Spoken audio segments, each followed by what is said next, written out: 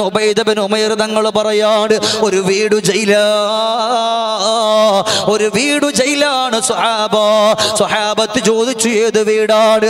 വീടിന്റെ അകത്തട്ടിൽ അവന്റെ ബാപ്പയുണ്ട്. ആ ബാപ്പയോട് മിണ്ടാത്ത ആൺമക്കളുണ്ടോ? വല്ലോഹി വല്ലോ. ആ വീട് ജയിലായിട്ട് മാറിപ്പോകുമെന്ന് മാത്രമല്ല ആ മകനവിടന്ന് വളന്നായിട്ട് ആ മകനവിടന്ന് വളന്നിട്ട് നല്ല ജോലിയുള്ളവനായിട്ട് മാറിപ്പോയാ. എന്നാൽ ഹമ്മല്ല തങ്കത്തിയു അബദ. ഒരിക്കലും അവനിക്ക് മുറിഞ്ഞു പോകാത്ത ദാരിദ്ര്യത്തെ അള്ളാഹു കൊടുക്കുമെന്ന് പറഞ്ഞു പോയെങ്കിൽ എന്റെ പ്രിയമുള്ള ചെറുപ്പക്കാരെ പ്രിയപ്പെട്ട പുന്നാര ഉപ്പയെ വേണ്ടുന്നത് പോലെ സ്നേഹിച്ചിട്ടില്ലെങ്കിൽ അവരെ ഇഷ്ടപ്പെട്ടിട്ടില്ലെങ്കിൽ അവരോട് മിണ്ടിയിട്ടില്ലെങ്കിൽ വല്ലാത്ത പരാജയമാണ്. ഉമ്മയല്ലേ സ്വർഗമുള്ളത്? സമ്മതിച്ചു ഉമ്മ സ്വർഗമാ. ഞാൻ ഒരു ഉദാഹരണം പറയട്ടെ. നല്ലൊരു വീടുണ്ടാക്കി എന്ന് മനസ്സുകൊണ്ട് കരുതുക. ആ വീട് വെച്ചിട്ട് വീടിനകത്ത് വാതിലില്ല. എങ്ങനെയാണ് വീട്ടിന്റെ ഉള്ളിലേക്കൊന്ന് കടക്കുന്നത്? കേറാതെ പറ്റൂല. ഉമ്മ സ്വർഗമാണെങ്കിൽ ആ സ്വർഗത്തിന്റെ കവാടം നിങ്ങളുടെ ബാപ്പയാണ്. അതുകൊണ്ട് ആ ബാപ്പയോട് നാല് കാര്യങ്ങൾ ഇന്നത്തെ ആൺമക്കൾ ചെയ്യണേ. ഒരു കാലഘട്ടം വരും ആ കാലഘട്ടത്തിലെ മക്കൾ ഉമ്മയോട് സംസാരിക്കും. ശരിയല്ലേ? വാപ്പാനോട് മിണ്ടാൻ തന്നെ അവർക്ക് മടിയാണ്. ബാപ്പാനോട് മിണ്ടൂല. അവരെത്ര നോക്കിയിട്ടുണ്ടെങ്കിലും ആ ബാപ്പയോട് അവർക്കൊരു സ്നേഹം വരുന്നില്ല. എന്നാൽ ആ കാലഘട്ടത്തിന്റെ മക്കൾ കടന്നു വരും. അതുമാത്രവുമല്ല ആ മക്കളെ കൊണ്ട് ബാപ്പ തലകുനിക്കേണ്ടുന്ന ഒരു കാലഘട്ടം കടന്നു വരും. ആയിരത്തി നാനൂറ് വർഷങ്ങൾക്ക് മുമ്പ് അവിടെ പഠിപ്പിച്ചു പോവുകയാണ്. പഠിച്ചവനെ അത് ശരിയല്ലേ? ഇന്നവിടെ നിന്ന് മയക്കുമരുന്നിന്റെ കഞ്ചാവിന്റെ അഡിക്റ്റായി കൊണ്ട് നമ്മുടെ കൊച്ചുമക്കൾ പോലും മാറിക്കൊണ്ടിരിക്കുമ്പോ പത്താം ക്ലാസ്സിലും പ്ലസ് വണ്ണിനും പ്ലസ് ടുവിനൊക്കെ പഠിക്കുന്ന നമ്മുടെ ആൺമക്കൾ ഇന്ന് പല വഴിക്കായിട്ട് കടന്നു പോകുമ്പോ ഉപ്പ നമ്മൾ നിസ്കരിക്കുന്നവരാണ് നമ്മളെ പള്ളിയിൽ വലിയ ഉത്തരവാദിത്തമുള്ളവരാണ്. നമ്മൾ ഉസ്താദുമാരാണ്. നമ്മൾ അതുപോലെ പള്ളിയിലെ ഖജാഞ്ചിയാണ്. പള്ളിയിലെ ട്രഷറാണ്. പ്രസിഡന്റാണ് സെക്രട്ടറിയാണ്. നമുക്ക് സമൂഹത്തിൽ ഒരു വിലയും നിലയുമുണ്ട്. എന്നാൽ ആ വിലയും നിലയുമൊക്കെ പടച്ചറപ്പേ മക്കളെ കൊണ്ട് മാറിപ്പോകുമെന്ന് ആയിരത്തി നാനൂറ് വർഷങ്ങൾക്ക് മുമ്പ് ഇവിടെ നിന്ന് പറഞ്ഞു പോയെങ്കിൽ ഇന്നത് യാഥാർത്ഥ്യമായി കൊണ്ടിരിക്കുകയാണ്. ഈ തൊട്ടടുത്ത പോലും ഒരു പള്ളിയിലെ പ്രസിഡന്റ് ആയിരുന്ന ഒരു ഹാജിയാർ ആത്മഹത്യ ചെയ്ത കാരണം എന്താ നിങ്ങളെ കറിഞ്ഞോ എന്ന് എനിക്കറിയില്ല അവിടെ നിന്ന് ആത്മഹത്യ ചെയ്തുകൊണ്ട് കടന്നു പോയത് പ്രിയപ്പെട്ട മകനെ അവിടെ നിന്ന് പോലീസ് പിടിച്ച് എന്തിന്? അവിടെ നിന്നൊരു പെൺകുട്ടിയുടെ കയ്യിൽ കഞ്ചാവ് വിൽക്കാൻ കൊടുത്തു വിട്ടതുകൊണ്ട് ആൺകുട്ടിയുടെ കയ്യിലല്ല ചെറുപ്പക്കാരാ. ഒരു പെൺകുട്ടിയുടെ ഒമ്പതാം ക്ലാസ്സിൽ പഠിക്കുന്ന ബി കോമിന് പഠിക്കുന്നയല്ല ബിടെക്കിന് പഠിക്കുന്നയല്ല എം ബി ബി എസിന് പഠിക്കുന്ന കുട്ടിയുടെ മുമ്പിലല്ല. പിന്നെ ആരുടെ കയ്യിലാണ് കൊടുത്തു വിട്ടത് ഒമ്പതാം ക്ലാസ്സിൽ പഠിക്കുന്ന പെൺകുട്ടിയുടെ കയ്യിൽ അവിടെ നിന്ന് കൊടുത്തു വിട്ടുകൊണ്ട് കച്ചവടം ചെയ്യാവരുങ്ങുമ്പോ അത് കണ്ടു നിന്നവർ അവിടെ നിന്ന് പോലീസിനോട് വിവരം കൊടുക്കുമ്പോ അവിടെ നിന്ന് പോലീസ് പിടിച്ചപ്പോ ബാപ്പയെ വരാൻ പറഞ്ഞപ്പോ ആരാണ് ബാപ്പ? പള്ളിയിലെ പ്രസിഡന്റാണ്. നിസ്കാര തഴമ്പുണ്ട് ആളുകളൊക്കെ അംഗീകരിക്കുന്നവരാ. ആ നാട് മുഴുവനും പാട്ടാകുമ്പോ ആ നാട് മുഴുവനും പാട്ടാകുമ്പോ പ്രിയപ്പെട്ട ബാപ്പ പള്ളിയിലേക്ക് പോകാതെയായി പള്ളിയിൽ ചെല്ലുമ്പോ പറയും മകൻ കാരണമാകെ കുടുങ്ങിയല്ലേ? ഇനിയും നിങ്ങൾക്കൊന്ന് രാജിവെച്ചൂടെ? എന്നൊക്കെ ചോദിക്കുന്ന ചോദ്യം കേട്ട് അവസാനം സഹികെട്ടിട്ട് ആത്മഹത്യ ചെയ്യേണ്ടുന്ന ഒരവസ്ഥ വന്നു പോയിട്ടുണ്ടെങ്കിൽ അവസാന കാലഘട്ടത്തിന്റെ മക്കളെ കൊണ്ട് ഉമ്മയും ബാപ്പയും തലകുനിക്കേണ്ടുന്ന ഒരവസ്ഥ അള്ളാ ഒരവസ്ഥ കടന്നു വരുമെന്നാണ്. അതും സംജാതമായി കൊണ്ടിരിക്കുകയാണ്. ആൺമക്കളെ കൊണ്ടും പെൺമക്കളെ കൊണ്ടും അതല്ലേ പെൺമക്കൾ പോലും ഇന്ന് ലഹരി മരുന്നിനടിക്കായി കൊണ്ടിരിക്കുന്നത്. ഈ തൊട്ടടുത്തല്ലേ നിങ്ങളുടെ ജില്ലയുടെ തൊട്ടടുത്തല്ലേ. മകളവിടം കഞ്ചാവ് കേസിൽ പിടിച്ചെന്ന് പറഞ്ഞ് മകളുടെ കഴുത്തറുത്തു കൊന്ന പിതാവിന്റെ കഥ കാലഘട്ടം മാറിക്കൊണ്ടിരിക്കുകയാണ്. എന്നാൽ ഇത് കണ്ടുകൊണ്ടിരിക്കുന്ന കേട്ടുകൊണ്ടിരിക്കുന്ന എന്റെ പൊന്നുമക്കളോട് എനിക്ക് പറയാനുള്ളത് റബ്ബേ ഞാൻ കാരണം എന്റെ ഉപ്പ തലകുനിക്കാൻ പാടില്ലല്ലോ. കൂട്ടുകാർ വന്നിട്ട് മോനെ കടന്നു പാടാ ഉസ്താദ് എന്തൊക്കെ പറയുന്നുണ്ട് മൊയിലാക്കന്മാരെ പലതും പറയുമടോ. നിനക്ക് നല്ല കാശ് വേണമെങ്കിൽ എന്നോടൊപ്പം ഒന്ന് കൂടിക്കോ എന്ന് പറഞ്ഞിട്ട് കഞ്ചാവിന്റെ വഴിയിൽ ലഹരി നിന്റെ വഴിയിൽ എന്റെ പൊന്നു ചെറുപ്പക്കാരെ നിങ്ങളെ വിളിച്ചു കൊണ്ടുവന്നാൽ വലിമൻ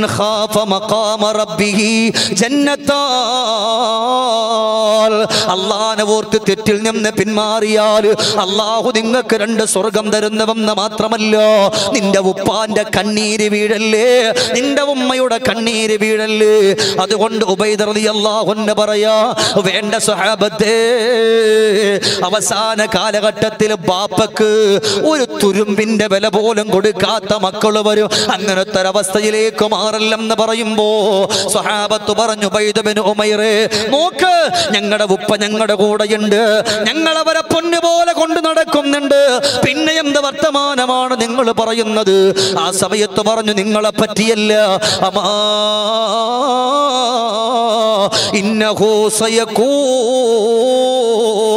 അവസാന കാലഘട്ടത്തിലെ മക്കളാണെന്നാണ്. അതൊന്ന് പുലർന്നുകൊണ്ടിരിക്കുകയാണ് അതൊന്ന് യാഥാർത്ഥ്യമായി കൊണ്ടിരിക്കുകയാണ്. ഉപ്പായി തൊട്ടടുത്ത് പോലും ഒരു ഓട്ടോറിക്ഷ ഡ്രൈവറായിരുന്ന ബാപ്പ മകന്റെ സ്കൂളിലേക്കൊന്ന് പോയി. ഇതെന്റെ ബാപ്പയാണെന്ന് പറയാൻ മടിച്ചിട്ട് ആ മകനവിടുന്ന് പുഴയിലേക്ക് ചാടിയിട്ട് ആത്മഹത്യ ചെയ്തു പോയില്ലേ? ബാപ്പ എന്ന് വിളിക്കാൻ മക്കൾക്ക് മടി. ഇതെന്റെ വാക്കല്ലത്. അവസാന കാലഘട്ടം വരണ്ടേ? അപ്പൊ ഈ പറഞ്ഞ കാര്യങ്ങളൊക്കെ ഒന്ന് ഇപ്പൊ യാഥാർത്ഥ്യാകണ്ടേ?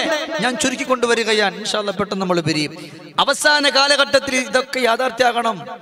നിബിതങ്ങൾ പറഞ്ഞു ഒന്നും ഇന്ന് വരെ പാഴായിട്ടില്ല. ഇന്ന് ബഹുമാനപ്പെട്ട നൂഹ് നബിയുടെ കപ്പൽ പറഞ്ഞു ഇന്ന് കണ്ടുപിടിച്ചു. അതുപോലെ ഇപ്പൊ ചന്ദ്രൻ പിളർന്നു എന്ന് പറഞ്ഞു. അതും ഇന്ന് ശാസ്ത്രലോകം ചന്ദ്രൻ പിളർന്നിട്ടുണ്ട് കണ്ടുപിടിച്ചു. എന്തെല്ലാം പറഞ്ഞത് മുഴുവനും കണ്ടുപിടിച്ചു. ഇതാ കാലഘട്ടം മാറി. ഈരിക്കണം ഇരിക്കണം നിങ്ങളുടെ ഈ ഇരിക്കണം പൊന്നാര വാപ്പമാരൊന്ന് മനസ്സിരുത്തി പറയും. നിങ്ങളുടെ ആൺമക്കൾ നിങ്ങളോട് എത്ര മിണ്ടുന്നുണ്ട്. അവസാന കാലഘട്ടത്തിൽ ആൺമക്കൾ ബാപ്പയോട് മിണ്ടാത്തവരായി മാറും. ഉമ്മാനോട് മിണ്ടും. ഉമ്മാനോട് വർത്താനം പറയും. അതുകൊണ്ടാണ് ഇവിടെ ഉമ്മയെ പറയാതെ ബാപ്പയെ പറഞ്ഞത്. ഉമ്മാനോട് മിണ്ടും ഉമ്മാനോട് ഉമ്മ എന്തൊക്കെയുണ്ട് വിശേഷം? സുഖല്ലേ? എവിടെങ്കിലും പോയാൽ ഒന്ന് ഫോൺ ചെയ്താൽ തന്നെ ഉമ്മാനെ വിളിക്കും. ഉമ്മ സുഖല്ലേ? എന്നൊക്കെ പറഞ്ഞ് ഉമ്മാന്റെ കാര്യങ്ങളൊക്കെ ചോദിച്ചറിയും. ഈ ഇരിക്കണം എന്റെ വാപ്പമാരെ എത്ര മക്കൾ വിളിച്ച് വാപ്പ നിങ്ങൾ എവിടെ പോയി? പള്ളിയിൽ പോയിട്ട് കുറേ നേരമായില്ലല്ലേ കാണുന്ന വിരലിൽ എണ്ണാവുന്ന മക്കളെ ഉണ്ടാവുള്ളൂ. വിരലിൽ എണ്ണാവുന്ന മക്കളെ ഉണ്ടാവുള്ളൂ. പൊന്നാര വാപ്പമാരെ നിങ്ങൾ എത്ര കരഞ്ഞിട്ടും കാര്യമില്ല. റബ്ബിനോട് ദ്വാ ചെയ്തോളി. കാലഘട്ടം മോശാണ്. അതുകൊണ്ടാണ് അവിടെ നിന്ന് പറഞ്ഞു പോയത് സൂക്ഷിക്കണം. അങ്ങനത്തെ മക്കളുടെ കാലഘട്ടം വരുമെന്ന് പറഞ്ഞിട്ട് അവിടെ നിന്ന് അവരെ നന്മയിലേക്ക് വിളിച്ചുകൊണ്ട് വരാൻ വേണ്ടിയിട്ട് പറയുമ്പോ ഇന്ന് ഞാനൊന്ന് ചോദിക്കട്ടെ ഈ വിഷയങ്ങളൊക്കെ കേൾക്കാനുള്ള എന്റെ കരളിന്റെ കഷണങ്ങളായ ചെറുപ്പക്കാര. ഇവിടെ നോക്ക് വിരളിലുണ്ടാവുന്ന കുറച്ച് യുവാക്കൾ അള്ളാഹു അവരുടെ ജീവിതത്തിൽ അവരുടെ ജോലികളിൽ അവരുടെ കുടുംബത്തിലൊക്കെ അള്ളാഹു പറക്കത്ത് കൊടുക്കട്ടെ. എത്രയോ ചെറുപ്പക്കാർ ഇവിടെ വരാനുള്ളവരാ. അതൊക്കെ ഇവിടെ നിൽക്കട്ടെ സഹോദരങ്ങളെ. അതുകൊണ്ടാണ് അവിടെ ഉബൈദബിൻ ഉമൈർ തങ്ങൾ പറയാട് ഒരു വീട് ജയില ഒരു വീട് ജയിലാണ് സുഹാബ. സുഹാബത്ത് ചോദിച്ചു ഏത് വീടാണ്? വീടിന്റെ അകത്തട്ടിൽ അവന്റെ ബാപ്പയുണ്ട്. ആ ബാപ്പയോട് മിണ്ടാത്താൻ മക്കളുണ്ടോ വല്ലോഹി വല്ലോ. ആ വീട് ജയിലായിട്ട് മാറിപ്പോകുമെന്ന് മാത്രമല്ല ആ മകനപടം വളർന്നായിട്ട് ആ മകനപടം വളർന്നിട്ട് നല്ല ജോലിയുള്ളവനായിട്ട് മാറിപ്പോയോ. എന്നാൽ ഹമ്മല്ല തങ്കത്തിയു അബദാ. ഒരിക്കലും അവനിക്ക് മുറിഞ്ഞു പോകാത്ത ദാരിദ്ര്യത്തെ അള്ളാഹു കൊടുക്കുമെന്ന് പറഞ്ഞു പോയെങ്കിൽ എന്റെ പ്രിയമുള്ള ചെറുപ്പക്കാരെ പ്രിയപ്പെട്ട പുന്നാര ഉപ്പയെ വേണ്ടുന്നത് പോലെ സ്നേഹിച്ചിട്ടില്ലെങ്കിൽ അവരെ ഇഷ്ടപ്പെട്ടിട്ടില്ലെങ്കിൽ അവരോട് മിണ്ടിയിട്ടില്ലെങ്കിൽ വല്ലാത്ത പരാജയമാണ്. ഉമ്മയല്ലേ സ്വർഗമുള്ളത്? സമ്മതിച്ചു ഉമ്മ സ്വർഗമാ. ഞാൻ ഒരു ഉദാഹരണം പറയട്ടെ. നല്ലൊരു വീടുണ്ടാക്കി എന്ന് മനസ്സുകൊണ്ട് കരുതുക. ആ വീട് വെച്ചിട്ട് വീടിനകത്ത് വാതിലില്ല. എങ്ങനെയാണ് വീട്ടിന്റെ ഉള്ളിലേക്കൊന്ന് കടക്കുന്നത്? പറ്റൂല. ഉമ്മ സ്വർഗമാണെങ്കിൽ ആ സ്വർഗത്തിന്റെ കവാടം നിങ്ങളുടെ ബാപ്പയാണ് അതുകൊണ്ട് ആ ബാപ്പയോട് നാല് കാര്യങ്ങൾ ഇന്നത്തെ ആൺമക്കള് ചെയ്യണേ ഒന്നാമത്തത് അങ്ങനെ ചെയ്താൽ മൂന്ന് കാര്യങ്ങളെ കൊണ്ട് അള്ളാഹു അവനെ ബഹുമാനിക്കുമെന്ന ഏതാ മൂന്ന് കാര്യങ്ങള് വഫിൽ കബരി മൂനിസാ وعلى الصراط دليلا وفي الحشر رحيما ബാപ്പയെ ബഹുമാനിക്കുന്നവനാണോ? ബാപ്പയെ കണ്ടില്ലെങ്കിൽ ഉറക്കം വരാത്തവനാണോ? ബാപ്പയോട് വർത്തമാനം പറയുന്നവനാണോ? വഫിൽ കബരി അവനെങ്കാണം ദുനിയാവിന്റെ പുറത്തുനിന്ന് വിട പറഞ്ഞ് പച്ചമണ്ണാകുന്ന ഖബറിന്റെ ഉള്ളിൽ കടന്നു പോയോ മോനിസ നേരം പൂക്കാക്കുന്ന രസിപ്പിക്കുന്ന ചിരിപ്പിക്കുന്ന മാലാകമാർ അവന്റെ കബറിന്റെ ഉള്ളിൽ അള്ളാഹു താല കൊടുക്കുമെന്നാണ്. ഹശരി പടച്ചവനെ അള്ളാന്റെ റഹുമത്ത് അവനിക്ക് കൊടുക്കുമെന്നാണ്.